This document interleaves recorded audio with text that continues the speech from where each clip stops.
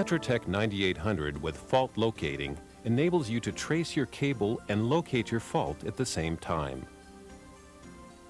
Because the 9800 transmitter can simultaneously send two signals onto the target conductor, you can cable trace and fault locate on the same walk down the line.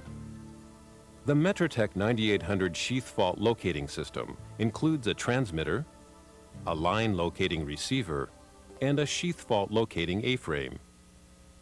The Metrotech 9800 transmitter has a built-in line resistance meter to immediately assess the severity of the fault, 4.8 Hz fault locating frequency, and a 1000 volt output to help find high impedance faults, an internal mixer for simultaneous signal transmission, automatic best frequency selection, automatic impedance matching, poor conductor alert, and battery check.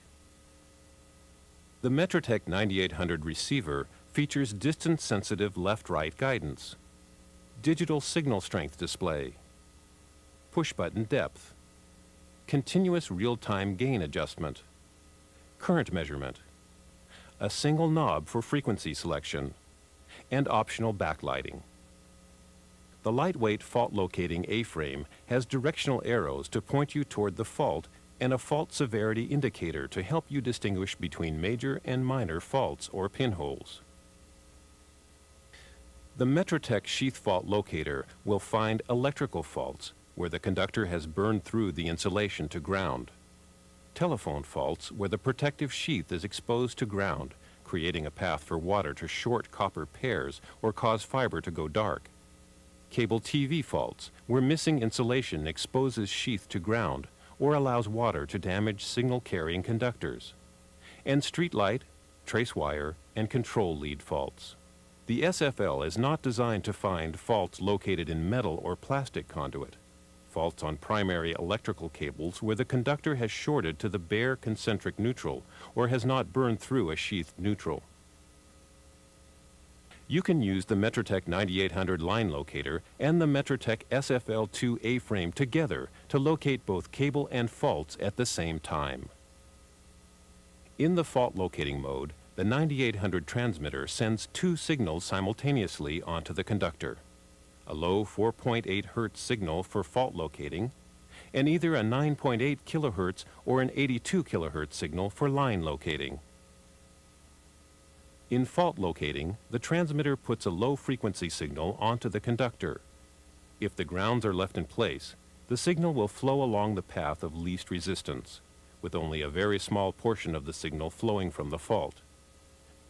By disconnecting the grounds at both ends, the signal can only flow through the fault, where its increased strength can be detected more readily by the A-frame.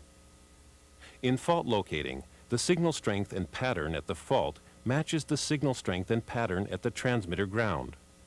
The strength of the signal depends primarily on the size of the fault. Before leaving for the job site, check the transmitter, receiver, and A-frame batteries replace or recharge them if necessary. When you first arrive at the job site, there are several things you should do before you begin to locate. If you are working in or near a street, always wear your orange reflectorized vest and use cones, red flags, or whatever safety precautions your company requires. Consult the blueprints or as-builts, if available, to determine the general location of the cables in the area. Use transformers, meters, or other visual reference points to help orient yourself. Also look for obvious causes of cable damage, such as new construction or excavation. Because pipes and cables may carry live current, use a voltmeter before attaching the transmitter to any conductor. If electrical current is present, carefully disconnect the source using appropriate safety procedures or contact your supervisor. The target conductor with a suspected fault must be isolated at both ends. You may not be able to locate a fault if the original grounds are not lifted. Follow appropriate safety procedures when disconnecting grounds. With the power off, plug the direct connect cables into the 9800 transmitter. Because of the high voltage generated in the SFL power mode, make sure the cable leads are not touching Extend the black ground lead at a 90 degree angle to the faulted conductor and connect it to the ground spike. Attach the red lead to the exposed metal of your target conductor. On the transmitter, turn the power knob to SFL. On the transmitter frequency knob, you can choose from 9.8 kHz, 82 kHz, or auto, depending on your locating needs. The auto frequency position will test and select the best frequency for locating the conductor.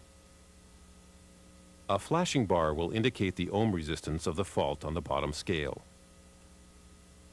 A high resistance reading indicates a small fault. A low reading indicates a large fault. If the resistance reading is 5 megaohms or more, the fault is extremely small.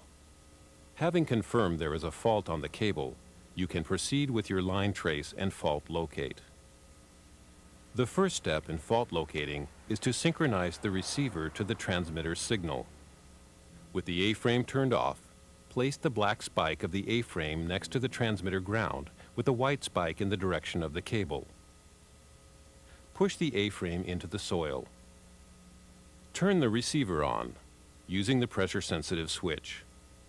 After the bar graph displays battery strength, the receiver will automatically lock itself onto the signal phase pattern generated at the ground rod, a pattern that will be duplicated at the fault. The flashing arrow will point in the direction of the fault. You have now synchronized the A-frame. To further confirm the existence of a fault, turn the A-frame around and push it into the ground again. The arrow will reverse itself on the display and again point in the direction of the fault. It no longer matters how the black and white spikes are oriented. As long as the A-frame is not turned off, it will always point toward the fault. Before you begin your combined cable and fault locate, note the number of bars on the A-frame's LCD.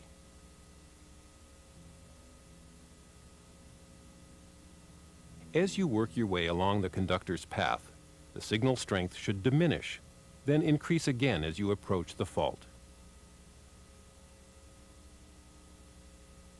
As you trace the line using the 9800 receiver, push the A-frame into the ground every 20 feet or so.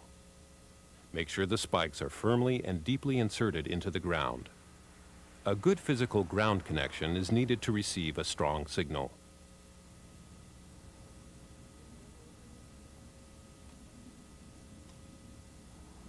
If the arrows change direction at some point along the line, but the signal strength does not increase to the level you measured at the transmitter end, you may have discovered a pinhole fault.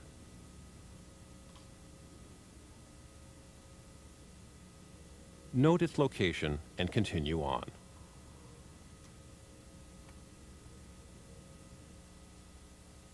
As you approach midpoint between the transmitter and the fault, the bar graph will reach its low perhaps displaying just one or two bars.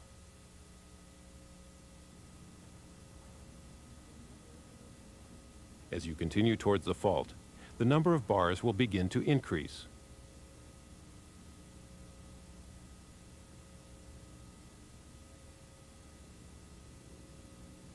When the bar graph approaches the original level, check more frequently until you find the spot where the arrow points in the opposite direction, back toward the transmitter.